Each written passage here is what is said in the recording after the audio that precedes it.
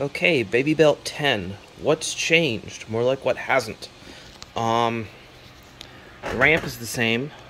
These are now longer, just like 9.6, um, so that the roller can be slightly shorter so there's more tolerance and leeway. Um, this gear has been trimmed down to prevent binding.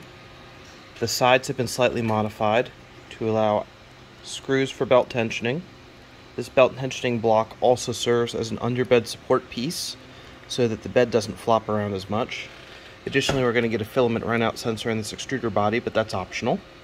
Um, also, this bearing block here now uses 608 bearing that the belt rides on instead of using uh, 20 tooth more expensive pulleys. So because the bearing is bigger and there's more teeth in it, the uh, there has to be a bigger notch cut out the side for the belt to go through.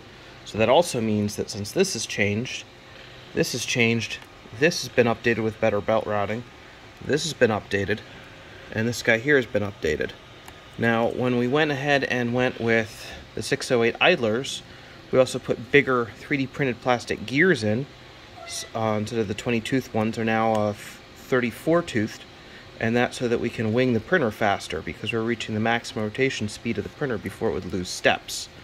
Um, all this is made for better print speed, better print quality, and of course, better, easier ease of assembly.